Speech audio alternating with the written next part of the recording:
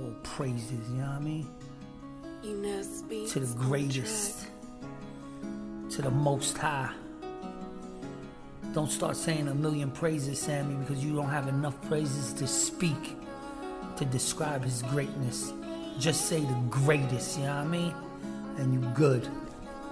I want to tell you something. This is so beautiful. Look what I'm going to read you right here. It says, Our sages liken one who wishes to keep the commandments to a person who's on a mountain in the midst of the sea. On this mountain, there's a great tree whose roots go down to the very depths. There is no fear that the winds will uproot this tree from its place. The person, however, may be afraid that a storm will come and the waves will wash him away and take him into the sea. However, each person can bind himself to the tree and then he has nothing to fear. Similarly, the world is like a sea and the body is like a mountain in its midst. The storm is death. A person is afraid that today or tomorrow the body will be washed away to the grave. God forbid, maybe like this lady Laura. Somebody told me she drowned. May she rest in peace for eternity. A sweetheart, man, good girl. Just didn't really know the Torah. That's why she didn't keep it, Hashem. And you know that. I gotta tell you. If she knew the Torah, she would have kept it a billion percent. She would have been one of your greatest. I promise you that. She had. I told her. I met this lady. I knew her an hour. I said to her, I would leave my daughter with you. That's how much I liked her, bro. That's the energy she exuded. Completely secular girl, but nobody cares. Her heart was nice, man. I liked her. Hopefully she's okay. I checked on the internet to see if somebody passed away drowning. I didn't see. So maybe God willing she's okay, but I heard not good things. But I'll find out today for sure. The tree is the good deeds that is, is written. It is a tree of life for those who hold on to it. Again, let's repeat. Similarly, the world is like a sea and the body like its ma- Similarly, the world is like a sea and the body is like a mountain in its midst. The storm is death. A person is afraid that today or tomorrow the body will be washed away to the grave. The tree is the good deeds as it is written. It is a tree of life for those who hold on to it. Proverbs 3:18. If a person is worthy of keeping commandments, he is bound to the tree of life and he can protect himself from all sorts of danger. 22, my favorite number. Sevens is Hashem. And it's all love for eternity, you know what I mean? Listen, I gotta read a little bit more out of this book. I like just straight reading from the book. I really might just do my own audio book of Me'am Lo'ez and then listen to it when I sleep. I'm just letting you know what time it is, yo, and I'll do it. God willing, with Hashem's help for eternity. So listen, I'm about to break something down to you that is so deep that I came up with today with the help of Hashem, a chidush that I never heard. If somebody else says it, give them the credit. But if not, I'm letting you know. So I was talking to my mom today, and I said to her, you know, I said it's interesting. I say the gay people when they go to like do gay pride parades, what symbol do they use? They use the rainbow, which is very interesting to me because if that's not a provocation against God, I don't know what is. Why? I'm gonna tell you why. Because God's destroyed the world because of sins of like homosexuality. You understand? So when he put the rainbow up, it was to let you know I should be destroying this place right now. But since I made a covenant not to destroy it, I put the rainbow. That's why in Judaism you're not allowed to look at a rainbow. Because if you look at a rainbow and enjoy from it, you can have a sin for that. You know why? Because Hashem suffers while you're enjoying. That's a problem, you understand? So I'm thinking to myself, wow, man, look at how the Yetzer Hara tricks these people, bro. The guy will rock a rainbow leotard. Yo, I can't, man. I'm about to really. I can't, I can't. I'm talking about my nation, bro. God forgive me, Hashem. Listen, you know what, man? In one of my other videos, I spoke about you're not allowed to speak bad about the nation of Israel. There's obviously exceptions. I would say this could be one of the exceptions. In general, I'm just saying, man, if the Jew, to any of my Jewish brothers and sisters that go to a gay pride parade, I'm telling you, bro, this is how the Satan is tricking you, bro. You're using the rainbow, which is the same symbol that God used to show us that He destroyed the world because of this sin, and He put a rainbow to let you know that He had mercy on the world and He won't destroy it again. You understand? With a flood. That's why, because emotions flood you. That's why you do that sin. Because you're tempted by a disgusting desire, bro. We gotta say what it is, bro. Keep it all the way real. But you're not gonna wave with it. I don't know any dude that committed adultery that's waving with it. I don't know any dude that gets angry that's like, let's come to an anger pride march. No. only this sin. And what symbol do they use? The rainbow. So I was thinking today, you know what? I said to myself, you know what symbol they should use? A dog. That's how. That's the symbol they should use. I have a lot in common with them. Unfortunately, I'm not just trying to disrespect, man. I'm telling you what the Satan would say at your trial. First, you have relations like a dog. That is disgusting, bro. I really shouldn't be talking about it like this, but I'm just saying it so that people can understand, man. So what what I'm saying is instead of using on their flag a rainbow, they should put a dog. And I'm gonna tell you why a dog. Because one of the reasons the dogs is one of the is the most impure animal is because when they went on the ark, Hashem said to all the animals, don't have relations. Two did. The crow, the raven, and the dog. That's why God in the Torah says that a sale of a dog and the sale of a prostitute, those two sales you cannot use to purchase an animal to make a sacrifice. Or if you want to donate to the Beit HaMikdash, cannot do it. They will not accept your money money that was made from prostitution or money that was made from the sale of a dog. That's what the Torah is saying about dogs. You understand? Now, does it mean that God hates dogs? No, He made them. They're adorable. Sometimes you have emotional dog supports that help people. I've seen uh, those, emo- not the emotional ones. What are they called? The can't remember the name, but you know what dog I'm talking about. Those dogs are unbelievable. I'm telling you, one time I was in the supermarket, there were a million people yelling, screaming, this, this. And this service dog was sitting there chilling. Like it was all love, bro. I never seen anything like this, bro. It's really amazing to see a blind person and a dog leading him around, and it works to perfection. So that dog is not blessed. That dog is blessed. And that's another thing that I'm gonna compare the gay people to. They're nice. They're nice. Just like a dog does chesed to their owner, gay people, they're nice, bro. They're super nice. They try to help. They're soft. Ask women if they don't like gay people. They'll tell you they're their most favorite people in the world. they're nice. We can't say it's not true, just like the dog. I'm going to tell you something about dogs that's beautiful because I don't want anybody to think Hashem or me or anybody is hating dogs. We're not. We're telling you what the facts are. Having a dog in your house for cleaning up after a dog is disgusting. A Jewish person should not do that. I'm just telling you, that's my opinion. You could disagree, so do it. Go pick up after your dog and look at it as a, as chesed, like Moshe Rabbeinu when he used to clean after the sheeps. You know what I'm saying? You can look at it like that. I don't have a problem with that. That's truth. You make, you make a good point with that. No problem. You do that. I don't want to do that. You understand? Also on Shabbat, the dog might be barking. This and that could ruin the Shabbat. So anyway, what am I trying to say? What I'm saying is like this. Look, there was a dog one time that its owner took him in the middle of a river to kill it. He used to abuse animals, this guy.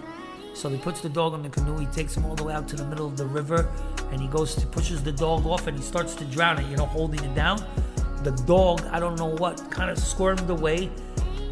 The canoe flipped over and the canoe hit him in the head and knocked him out cold. So what do you think this dog did? The dog grabbed him by his shirt and started swimming to the shore. and saved his life. You understand what I'm saying? That's dogs. So please, I'm not hating on dogs. I just want everybody to know. I even gave one of my pillows to my neighbor Owen because he has a dog, Leah. You understand? I wanted to show him that I'm not have nothing against dogs because I think I might have told him this. So I wanted to like show him, you know, like look, it's not personal, but I'm just telling you the word of God. That's all it is, man. It's very simple. You understand? All right, man. And I appreciate you guys letting me teach you the Word of God because it's deep. And when you have the Word of God, there's one thing you have that nobody will have. You know what it is? Peace. You know what else it is? Heaven. You know what else it is? Security. You know what else it is? Love. You know what else it is? Amazing things that will happen to you called miracles. You know what else it is? Life to the fullest. Because when you stuck to God, you stuck to Him hard like I am. Oh, wow, wow, wow. You have no idea how I call out to Hashem. It's scary. I speak to Him all the time. You don't get it, bro. I'll be by myself in my house. I'll talk to Him like we chilling. He doesn't answer me back because I'm not no prophet, but I definitely talk to Him. And I know He definitely hears me. That's facts. Let me open up my book right now because I got good energy to read. I'll just pop it open to any page. Therefore, Moses said that the reason that the Israelites did not fight with the dome was because they had been commanded by God, because Esav had been given Mount Seir as an inheritance in the merit of honoring his father. Proof of this is that they were very much afraid of us. Similarly, when Moses told about the battle of Sichon, he began to relate how he sent messengers that they only wanted to go through and that Sichon did not lift, let them. He didn't give them permission. Only then did they fight against them, and God gave them in their hands and took all their cities. That's in Deuteronomy 2:29. Moses told all this to teach the people how God watches over Israel. Nothing depends on strength or power. As proof, we could see that although Sichon, who was a giant and the son of a fallen angel, was powerful, God gave him into our hands. Conversely, the king of Edom was afraid of us, and God commanded us not to provoke him. It was even forbidden for us to even step on his land. Look at how Hashem is rewarding Esav. We passed by our brothers, the descendants of Esav, who lived in Seir and headed to the Avara, Arava, from Elat to Etzion Gever. Now Moses tells us that after Esav did not allow us to go through his land, we headed away from our borders who lived in Seir, and then we headed to the Arava from Elat to Etzion Gever. So look, Etzion Gever has that name because the people in that place knew how to look at a rooster. They practiced divin, uh, divination, and by watching its crowing and its form, that's how they did it. Through this, they could predict the future. There are many mysteries in this that most people do not know. With this, they could also tell when it was exactly midnight and also when it was just before daybreak. It is for this reason that this place is called Etzion Gever, since the word Gever, Gever, denotes a rooster. A non-believer one time lived in the neighborhood of Rabbi Yeshua ben Levi. Every day he tormented him by asking him questions regarding the Torah. The rabbi had to struggle and find answers to his questions. Finally, he decided he would curse him so he would die and he would be through with him. He took a rooster, he placed it at the foot of his bed and said, I will know when God is angry and then I will curse him. During the first three hours of the day, there's one instant when God is angry. That instant lasts for just long enough for a single word to be said. If a person knows that time, his curse will come through. And I remember they said like, okay, so Bilam had one second to do. What would he say? Destroy. That's it. Bilam knew this time, but God did not get angry at that time, so that the Israelites not be harmed. Bilam therefore said, How can I provoke an anger when God will not anger? Numbers 23 8. Bilam only had power because he knew how to determine the exact instant God was angry, and he would invoke a curse at that time. But if God did not become angry, there was nothing he could do. I don't think anybody today has that power to do that thing. And then the things with the roosters, I don't think these things are possible today because you have to remember back then, it used to be very, very high righteousness and holiness in the world. So Hashem to balance it out has to make the Tumah high. That's why the Sitra Achra is high. That's why black magic is high. You understand? Now look what God is saying. We turned around and passed through the Moab desert. God said to me, Do not attack Moab and do not provoke them to war. I will not give you their land as an inheritance, since I already have given them Ar to Lot's descendants as their heritage. We later see that God commanded us not to provoke Ammon, as it is written, You are coming close to the Ammonites, but do not attack or provoke them. There it does not say, Do not provoke them to war. This teaches that in the case of Ammon, all types of provocations are forbidden. You understand? The reason for this stems back from the time when God destroyed Sodom and saved Lot and his daughters. When his daughters saw that no one survived other than them and their father, they thought that God had destroyed the entire world just as he's done during the flood.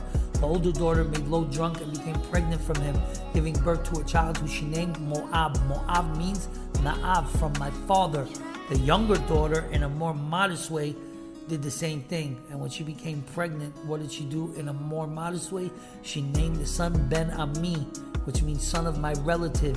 She honored her father and did not specifically mention that the son was from her father. God rewarded her for this and forbade the Jews to provoke Ammon, even in an instant that does not does not involve war. In the case of Moab, however, God commanded that we should not provoke them to war, but other provocations are permitted. Therefore, when the Israelites met the Ammonites, they wore their cloaks so that their weapons would not be visible. This was measure for measure, just as the older daughter was more arrogant with respect to her father, the Israelites behaved arrogantly toward her children, just as the younger one honored her father and hid his shame. So the Israelites were commanded to hide their weapons when they approached Ammon, the descendants of Ben Ami. What do we learn from this? We learn that the mercy of God is beyond deeper than deep. It really is, man. You got to be real. Look, he's showing you things, man, that are crazy, man. Pay attention as we continue. The Emim lived there originally, a powerful numerous race as tall as giants. As giants, they were considered Rephaim, but the Moabites called them Emim. So I'm going to tell you what it means. Emim, slicha. One may ask a question here why is the Torah telling us about the nations that lived in this land before the king of Moab conquered it? However, this teaches us that God performed a miracle for Lot's descendants out of respect to Avram. He drove out the Emim, Emim, who had been there from ancient times, even though this was a powerful great nation of giants who were counted like the Rephaim. The Moabites called the Emim, Emim, meaning the fearsome ones. Whoever would look at them would be filled with terror from the word Ema. Therefore, it was not fitting that the Israelites take their land from them. God had given it to them with a miracle. Even though this land might have also been fitting for the Israelites, however, since God had performed a miracle for the Moabites because of the miracle of Avram, it is not fitting to take their land away from them. Here's another one Moab. You know the sins that Moab made? Are you crazy? They're the ones that were involved with the sin of uh, Zimri ben Salu and Kotzri ben Sur. Are you nuts? Do you know what happened? 24,000 people died. I can't remember a time where Hashem killed more people back in the time of the Torah. Six million Jews, they say Hashem killed. Now, 70, 80 years ago. God forgive us, Hashem. What would make God bring a Holocaust to his children, bro? I think we really need to think about that right now. and Let's analyze that. There's only one answer, and you know what the answer is? And it's a sick answer, man. But it's the truth, and we must be honest about it, bro. That's what happens when you don't follow God's laws, bro. He's showing you, man. What would make God kill his children? What would God make his children suffer such humility and shame? The answer is not because they weren't nice people. A lot of them were maybe nice, but a lot of them did not follow the laws. They mixed with the Germans. They went against God's laws. I know it sounds harsh. I would only say because it's written in the Torah. Parshas Vayelech. Go look at it, bro, and you can understand when God said to Moses, Meet me by the tent. And they met by the tent, and he spoke to him there. And he said to him, There will come a time in the future that your children will provoke me and sin against me and intermarry. And I will send a nation cruel to elderly and to the young, and they will destroy you. God forgive me, man, and I will turn my face astir, astir, astir panai. On that day, I will turn my face, and they will say, "Where is my God?" Read the book by Elie Wiesel called Night. It says it in there that they saw a little kid get hung, and he was so light that his weight didn't hold enough, so he suffered. It took him like I don't know, 14 hours till he died. And they said, "Where is God?" And that's exactly what God said in the Torah. Sick. Today, you tell Jews they have to keep the Torah, or God forbid Hashem will put a Holocaust, they'll call you fascist, psycho, Nazi, Germany, this, that. They go nuts. But it's all the truth. Don't listen to those people bark, bro. They're anti God. Usually the Democrats do things like that, you know what I mean? Especially if you're a young kid listening to this, man. Trust me, you don't ever want to be on the side of the Democrats, you understand? I'm not talking about what they did to Trump. Bump that. Talking about what they do to God. God says in the Torah, man and man cannot be together, forget marry in a public setting. Are you normal? And it also says murder is forbidden. After 40 days, that's it. The embryo now becomes a human soul is inserted inside the embryo. Read the Torah, you can understand. After that, that's an abortion, not allowed. And what are two mainstays and pillars of policies of the left? Pro abortion and pro gay marriage. And one thing I love how they try to trick you, sick. Think, think, think. Look what I'm about to tell you. It's pro life and pro death. I don't know who made up pro life, pro choice, because the opposite of life is death. So if you're saying pro life, you have to say pro death. You cannot say pro choice. I'm sorry. You want to kill this baby, bro. Ichsalek, man. Cannot have mercy on the Democrats, bro. I tell you why. Because they don't have mercy on God's children. You're going to go tell a kid to go be gay? Don't listen to him. He's he's Iran. He's sick. He's crazy. Don't listen to this guy. No, no. You're gonna go convince him to go be gay. You know what kind of punishment you're gonna get for that? Clown. Going against God's word, and you think you're gonna survive for that? I say that to you with love, believe it or not. But if you say, you know, you're gonna answer back to me, then God will destroy you, bro. I'm just telling you what your end is gonna be, because you can never prosper when you go against the word of God. I pray for you, you get out of it, and you want to get out of it, come to me, I'll help you get out of it, yo. You know what I mean? I'll know exactly what to tell you because I study the Word of God. I would know exactly how to break it down. I can't say for sure I'd take you out of it, but I'll equip your knowledge, your brain with such knowledge that you would be able to defeat that desire, bro. When the Satan would come to you, just like it would come to me to get mad or to get upset about somebody hurt my honor or disrespected me, right away the Satan, oh, you're gonna let talk to you like that, oh, this, that.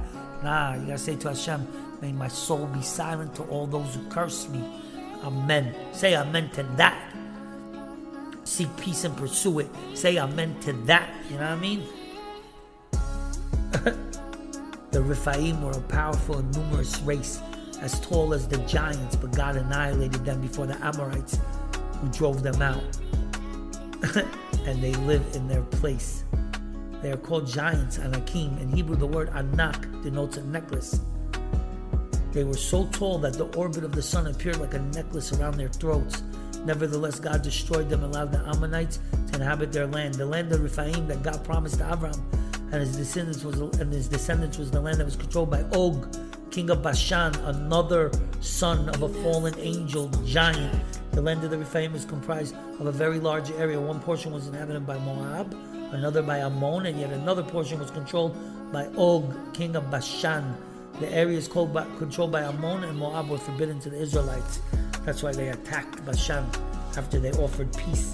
This was the same as God has done to Esau's descendants who lived in Seir when he annihilated the Horites before them, allowing Esau's descendants to drive them out and live in their place to this very day. Oh, perfect!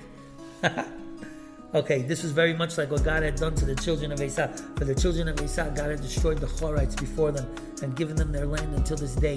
He did the same to Ammon and Moab, demolishing these nations before them. Some explain it in this way Moses told the Israelites, Do not think that this is the land of Rephaim and that we can go and fight and take it from their hands. We may not think this way since this is now. Sorry, this is now in the hands of the Ammonites. Since the Ammonites now control it, we have no authority to take it, like we mentioned earlier. We should see this from the children of Esau who lived in Seir. God destroyed the Horites before them. The Horites were among the seven nations whose land God promised to Avram. However, since the children of Esau conquered them, it was forbidden for us to take it from their hand. The same is true here, although this was originally the land of Rephaim, but since it was now been given to the Ammonites, we could not touch it. This was this is a good story. Listen here, this is deep. This was also true of the Aviv, of the Avim who lived from the Chatzerim to Gaza. The Kaftorim came from Kaftor and defeated them, occupying their territories. The Torah tells us that just as the land of the Ephraim was conquered by Ammon and Moab and settled, similarly the same was done to the Avavim who lived in the Chatzerim to Gaza. They were very beautiful cities, like gardens not surrounded by walls. The nation was called Avavim or Avim, since they destroyed cities with their strength and made them into the heaps into heaps of ruin called Aim. They were also given this name since they knew how to smell the soil and know what crops would grow best on it. They could tell what soil would be good for olives, which would be good for dates. They were like snakes who could tell the nature of the soil by smelling it. The word avim is thus related to the word chaviyah, which denotes a snake. It once happened that Rambar Bar Chana, I like that name. It once happened that Rabbi Chana was traveling in the desert when he became lost. He had a guide. The guy took a handful of soil, smelled it, and announced the direction they must go. This guide was from the tribe of the Avim. There was also another reason they were called Avim. Whoever saw them would be seized, seized with a seized with a convulsion. Avit, trembling out of fear. Some say the Avim were a Yemenite city and were descendants of Eliphaz the Yemenite, Esau's son. They left their cities and dwelt in the Philistinian cities, intermingling with them since they wanted to worship their gods. They were therefore called Avim from the word Ava, denoting desire. Ta'ava, I like that. Te'ava and Ahava, from the same root almost. Why? Because that's what it is. You can either direct it love or a desire. Desire connotates something that you might not be able to control. Love is pure. Some say that the Avim were actually Philistines. We see that just we see, we thus see that there were five leaders of the Philistines and they were enumerated. One of them was Avim in Joshua 32. Since the Avim were so large, the Kaftorim, who were dwarfs, believe it or not, and round as apples, came and intermarried with them. They gave birth and they came from the Kaftorim. They were certainly very short midgets and they came and killed these. One may raise a question here why must we know that Kaftorim are not related Avim? The Torah does not tell us these things, does not tell us things that are not necessary. It's not empty from you. I like that. Deuteronomy 32 47. Everyone must realize that the spies had given a very bad report against the land. They had said that it was a very lean land and that the people are stronger than giants, so that it would be impossible to conquer them. Moses wanted to teach them that conquest does not depend on strength, but on the hand of God. The proof is that the Avim were so much mightier than the Kaftorim. But nevertheless, those who came from Kaftor, these dwarfs who were born from dwarfs, that's why it says the Kaftorim who came from Kaftor, conquered them. This would be impossible to understand logically. But when God is involved, everything is possible. You understand? Now set out and cross the Arnon Brook. See, I've given you into the hands of Sichon, the Amorite king of Heshbon, and his land. Begin this occupation, provoke him into war. God told the Israelites, cross the Arnon Brook, begin the occupation, provoke them to war. He told the Israelites not to find, oh, he told the Israelites to find any excuse to fight against them. Wow.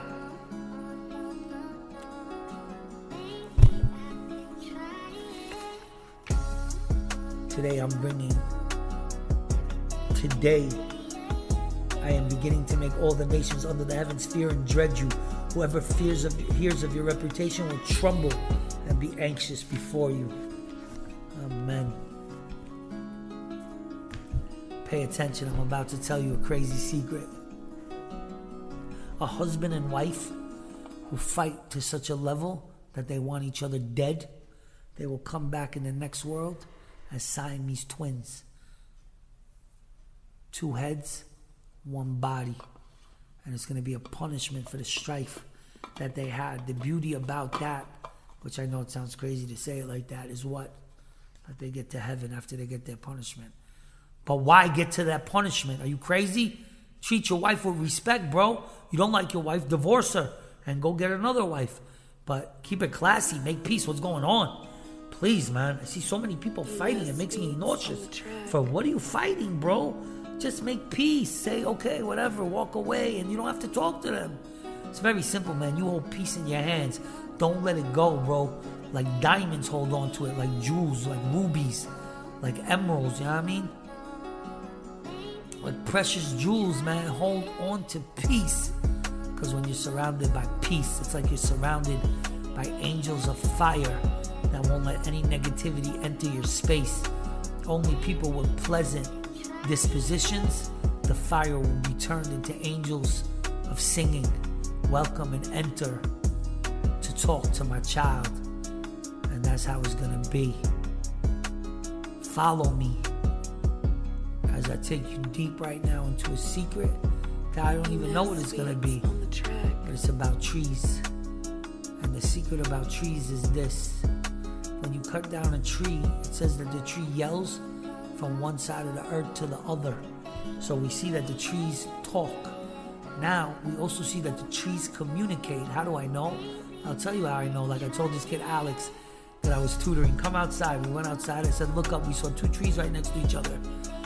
You had to see how the branches were evading each other. I never see anything like it. You'll see, it's very clear. The branches should be smashing into each other. There should be broken branches. Everything should be crashing, like teeth banging into each other, God forbid. but it's not. This branch goes this way, this one goes up, this one goes around, this one goes underneath. because the trees are communicating. You don't believe me? I'm giving you proof. Look at some of the experiments they did with trees. They did some amazing experiments with trees. And with that, I leave you with love, with peace, with grace. And before I go, I gotta mention something about Birchat Hamazon because on my last lecture I gave or talk I gave, I kind of ran to it. We should play on Glory Stone, we should lead a speed up right to our land, or I kind of went through it fast. So let me do it a little bit slower and more concise. So with Birchat Hamazon, in the beginning, it's basically you're talking about his compassion, his abundant kindness, and that you know, uh, Open your mouth and he will fulfill every desire as long as you follow him and you bless him. And then he'll speak about Yerushalayim and how he loves Yerushalayim and for the land and for the food, you know, and talk about how he should bless us with livelihood and relieve us from all distress speedily And He should bless us that we should never be embarrassed in this world nor in the world to come. And that He's our Father, and our Shepherd, the King of Israel, the God who leads us always. He has rewarded us, rewards us, and will continue to reward us eternally with His grace and His mercy and His love and rescue us and give us only good. Amen. And He also says that we also ask Him to place love in our heart so we should be close to Him in His Torah and fear that we should be afraid to sin. That's what it says. they don't believe me. Go read it and you're going to see. And you're going to see. That's exactly what it says. And then it says that we should have the privilege to see Mashiach speed in our days, that he should bless us, that, like I said before, give us livelihood, and, and he should be blessed to us to every generation, and we should be blessed on his glorious throne, and he should lead us speedily up like to our land, and he should break the yoke of oppression speedily from our necks. He should give us success to our paths. He should make peace amongst us. He should love us. It's a beautiful prayer, man. Birkat Hamazon is on another level. Like I said in my other video, get up now and eat bread and say that prayer and get blessed by the word of God. Real talk. I just want to say to all the people that listen to my lectures, especially if you got this far, God bless. And I just want to bless you and say, may God protect you. May the God of Abraham, Isaac, and Jacob, David Hamelech, Shlomo, Moshe, Aaron, and all the greats, may that God bless you with peace and happiness. And know that you must earn that peace and happiness. Make yourself a vessel to receive the blessing, He'll send it. I promise you that because He told me that in His Torah. And He told you the same thing. Love Him, listen to Him, sacrifice for Him. Show Him that you care about Him. Show Him that you stuck to Him like metal to a magnet.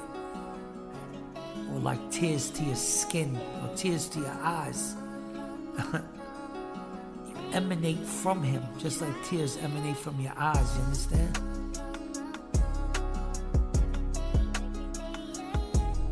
There was a guy, and he had a farm, had a bunch of animals on the farm foxes and deers and gazelles and this and that. And he had a pig. And he used to feed the pig the most. And they used to get so jealous. Oh, it's not fair. It's not fair. It's not fair. They got, oh man. He's always giving him extra. Look how fat he's getting. And they were getting jealous. Till one day he slaughtered the pig. They got the point. You understand? And the lesson here is do not, and I repeat, do not chase after physical desires and sins because you will get full off of them and be slaughtered for them. Remember that always. Seek peace and pursue it. And if somebody tells you, I'm a Talmid Chacham, you know how you know if they're a Talmid Chacham? Not even by how much Torah they know, by if they get insulted if you rebuke them. If they do something wrong and you tell them, hey, what you did to that lady in that lecture was wrong, you know, you embarrassed her in public, and they get mad, it's a problem. That's from the Gemara. So if some Talmid Chacham says, oh, that's not true, he doesn't he's talking about, then for sure you know he's not a Talmid Chacham. Gotta be classy, bro. I guarantee you Moshe Rabbeinu was classy. I guarantee you Yeshua ben Nun was classy. Yeshua ben Nun used to clean the beis medrash. Beis medrash. Moshe Rabbeinu cleaned the waste of the sheep. Do you understand what's going on? He was a shepherd, humble, and the greatest leader that ever lived, bro. Ah, Moshe Rabbeinu. I already said in one of my past lectures. When Mashiach comes, God willing, I'll be alive. Right now, I'm on that path, big time. And guess what? I'm going to see Moshe Rabbeinu, and I'm going to give him a hug and tell him I love him and that I learned so much from him, how he was willing to give his life for Bnei Israel. Erase me from your book. You have the chutzpah to talk to Hashem like that? Are you crazy? Yes, he spoke like that to Hashem, not chutzpah, showing Hashem, this is how much I love them. I'm willing for you to erase my name for your book, the book of Moses. And Hashem acquiesced when he saw how much he loved his children. That's all Hashem wants. Hashem wants a leader that has love. He doesn't have to be the smartest. He doesn't have to know the most Torah, but you know what he has to have? The right ideology to know how to bring the people together. Because when we have peace, the Shekhinah lays on us. And when the Shekhinah lays on you, it's like being surrounded by the clouds of glory. Nothing can touch you, no matter what. They can't even bark at you. Love you, Hashem.